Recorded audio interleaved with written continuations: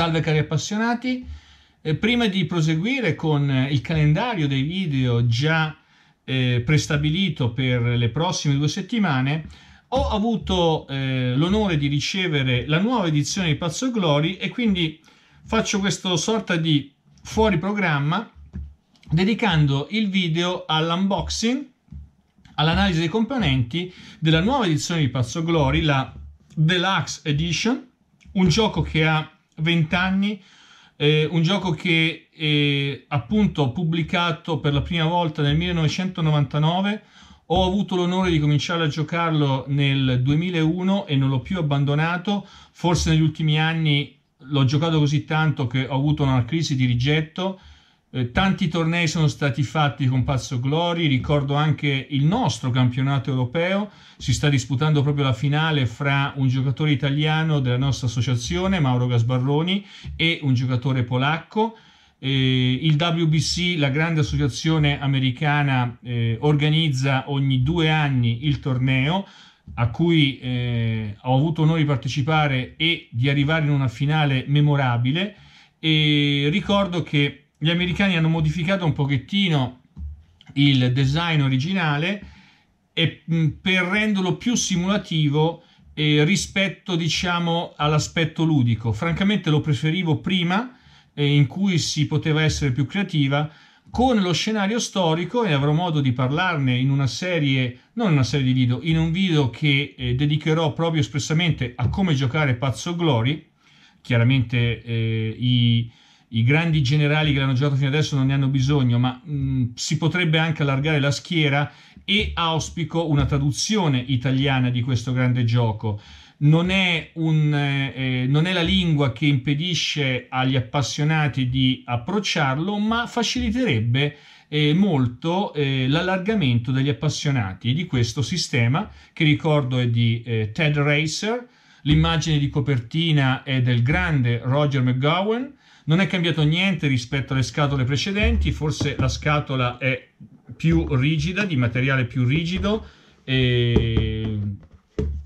con colori in questo caso più brillanti, ma eh, sempre ben fatta. Vediamo il retro, che cosa ci dice, se è cambiato qualcosa. Sì, ovviamente, eh, dimentico di dirvi che abbiamo una nuova, abbiamo una, una mappa montata eh, double face, abbiamo, eh, poi lo vedremo più in dettaglio e ve lo farò vedere in un'immagine più, più grande. Abbiamo una mappa e vedete questa, una mappa diciamo in cui sono stati messi in evidenza tutti gli stati, eh, mentre prima diciamo che era più uniforme eh, è diciamo più geografica, consentitemi di usare questo termine, e più leggibili. Ai fini del gioco non cambia molto, ma diciamo è un'alternativa interessante che ci costringe a noi collezionisti di comprare per forza questa scatola, anche se eh, possediamo le precedenti 5. Ricordo che eh, può considerarsi questa la eh, sesta edizione e nelle precedenti le regole non sono mai cambiate, ci sono state delle aggiunte, dei chiarimenti, ma niente di particolare.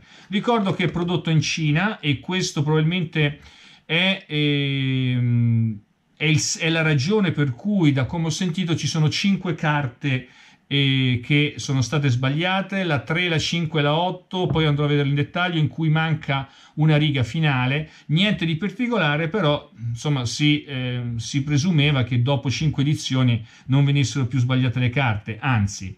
E non sono d'accordo sulla giocabilità in solitario, eh, forse lo scenario storico, ma questo è un gioco che richiede il massimo dell'interattività, o studiamo un sistema per renderlo veramente solitario, altrimenti no, non sono d'accordo sulla eh, Solitaire Suitability 7 e ripeto, se uno vuole imparare a giocare, d'accordo, ma se vogliamo parlare di un sistema in solitario, no, Pazzo Glory non è un sistema in solitario, non è simulazione, è più gioco, ma giocarlo in solitario secondo me perde il fascino e la sua, veramente, la sua validità. Esiste una guida che è introvabile, io che a Dio ne ho due copie, una guida che però è inutile possedere a meno che delle carte aggiuntive in quanto dà dei consigli che all'epoca forse per i neofiti possono essere validi. Poi uno si accorge che segue tutto meno che i consigli della guida. E la componentistica non è cambiata ma andiamo ad aprire la scatola e vediamo un po' cosa troviamo al suo interno.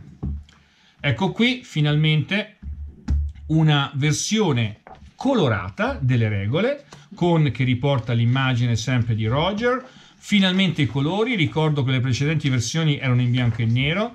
E vedo dei eh, quadri rossi che indicano questi quadri rossi delle delle modifiche. Mm, vediamo un po' cosa dice. Il quadro rosso indica It's a new rule or significant changes, vabbè, praticamente una, una, nuova regola o modifiche sostanziali. Invece possiamo trovare le sottolineature che vanno a dare un chiarimento della regola. Vediamo un po'. Ehm, lower number priorities take precedence questo era già eh, noto, l'abbiamo chiarito. Ci sono delle unità che devono prendere prima eh, le perdite, in questo caso dà un esempio della, del corpo di spedizione britannico che deve le, eh, prendere le perdite prima del corpo di spedizione in Medio Oriente se sono staccate assieme, se sono impilate assieme in un esagono, ma niente di particolare perché non accade quasi mai. E nello scenario specific rules dell'historico scenario abbiamo le famose regole opzionali delle otto carte, nulla di nuovo. E la mandated offensive britannica diventa automaticamente una francese al turno 1, niente di particolare, o meglio, nessuna novità per chi ha giocato con le regole dello scenario storico. E peace terms are not allowed. Presumiamo che c'è una regola che permette di offrire eh, la pace e può dare eh, effetti positivi o negativi, ma nello scenario storico l'offerta della pace non è, non è permessa. Io lo farei per tutti gli scenari in ogni caso. Vediamo un po', sfogliamo le regole se ci sono altri cambiamenti. C'è la 11.1.13, quando la Turchia entra in guerra, Kermanshah diventa eh, controllata dalle forze dell'asse, dal Central Powers, nulla di particolare, e tutti gli spazi persiani diventano controllati dall'alleato. Non ha nessuna influenza sull'andamento del gioco. Vediamo un po', è solo un chiarimento. Finalmente esempi colorati. Vediamo un po'. Qui abbiamo solo eh, dei, eh, dei chiarimenti. Le unità possono essere trasferite dal box di riserva in qualsiasi spazio che contiene unità rifornita della stessa nazionalità. Ok, questo già si sapeva, forse manca un chiarimento. E... Eccezione, le unità russe, rumene e serbe possono tracciare rifornimento alle linee punteggiate che connettono ai rifornimenti alle fonti di rifornimento russa, già si sapeva, nulla di che, solo un chiarimento. Niente, le regole rimangono, grazie a Dio, invariate. Mi pare, ecco qui ci sono esempi più completi del, eh, dell'apertura con Guns of August. Abbiamo un esempio eh, chiarificatore. Il setup adesso non è più riportato in, in ultima pagina, ma prima delle carte Ecco qui, le ultime eh, pagine sono dedicate adding more paths to your deck. In pratica queste sono le otto carte che erano contenute eh, nella guida, ora fanno parte della edizione deluxe, molto bene. Ho giocato poche volte con queste otto carte, francamente aggiungono poco o nulla, anche se ci sono delle carte che danno dei punti che potrebbero essere importanti per la, eh, il computo finale del punteggio. Eh, sommario del special rules, summary, index, ci sono le eh, developers notes di Ted Racer, ehm, eh, d'accordo, ehm, spiegano le, novi- le, piccole novità, eh, bella anche la, eh, l'immagine, diciamo, l'ultima pagina di chiusura.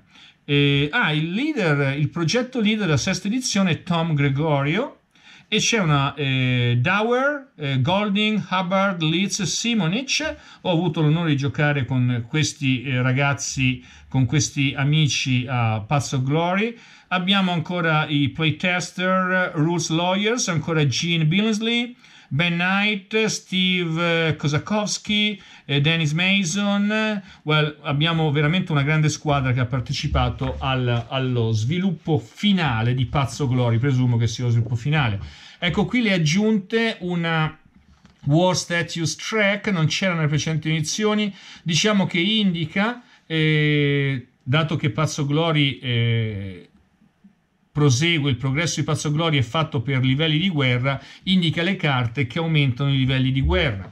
Poi abbiamo una eh, simpatica carta eh, tabella rinforzi.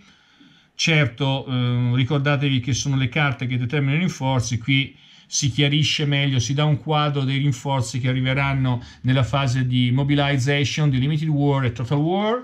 Abbiamo poi delle nuove tabelle del terreno più colorate, non cambia nulla, vengono chiarite maggiormente, sono più curate graficamente, ne abbiamo due, una per giocatore. Andiamo ai counters, i counters, questo è il secondo foglio counter, questi sono eh, i corpi, non cambia nulla, simbolo in atto, sempre cifre ben leggibili. Ehm, ok, le trincee secondo me sono sempre abbastanza brutti come marker, però d'accordo, in questo caso non si sono sbizzarriti con la fantasia. Anche il primo counter sheet non cambia nulla, abbiamo dei, dei counter che indicano il punto perso quando non si esegue la, la vittoria eh, mm, l'offensiva obbligatoria in ogni turno, anche qui nessun cambiamento. E finalmente arriviamo alla prima vera novità della scatola, cioè la mappa. Eh, cercherò di fare una foto della mappa completa e vi apparirà nel video che andrò a sistemare.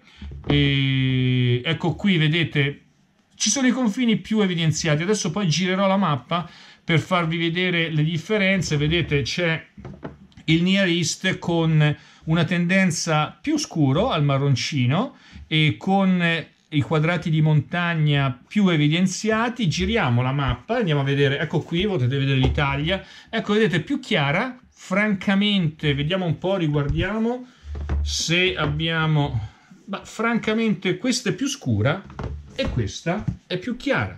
Vabbè, forse poi vedremo eh, quale permette di giocare meglio, secondo me a, un prima, eh, a una prima at first sight, a prima vista, mi piace ancora la vecchia, però vedremo a mappa piazzata e poi abbiamo delle raffinatezze nella nuova mappa, ecco vedete delle, dei doppi tricolori nel titolo, ma nulla di particolare dal punto di vista del gioco, non altera il gioco. Abbiamo le solite bustine, due dadi eh, decenti, li vorrei sempre con gli angoli smussati, invece sono sempre con gli angoli abbastanza vivi, non, non, mi entusiasmano. E arriviamo alle carte, le ho già aperte perché ho voluto vedere i problemi che avevamo nelle carte, ve le faccio vedere. Eh, per esempio nella 3 abbiamo che eh, manca l'ultima other nationalities, manca una riga. E vediamo un po', non c'è l'errore in Guns of August, avevamo anche l'errore in Landwehr, eh, non può essere giocata a Berlino, manca una riga, quindi ci sono 5 carte, potete scaricare il testo e la stessa carta dal sito della GMT e, e in queste 5 carte praticamente manca l'ultima riga di spiegazione, nulla di che, però alla sesta edizione ci saremmo aspettati di una assoluta perfezione nel quanto riguarda la produzione del gioco. In ogni caso, eh, la componentistica e eh, l'analisi componentistica è completata, eh, sempre abbastanza gradevole, nulla eccezionale. Francamente adesso non ricordo il prezzo, ma mi pare che il prezzo pieno sia 75 dollari e probabilmente sul mercato italiano arriveremo anche a 79 euro. Voglio, sono curioso di vedere il prezzo in euro e non ho controllato, ma eh, in futuro eh, andrò a verificarlo. Grazie per l'attenzione, restate sintonizzati sia per il prossimo video dedicato alla rivista Modern World, sia per eh, i consigli eh, strategici di questo grande gioco sulla prima guerra mondiale di Ted Racer. Grazie e alla prossima!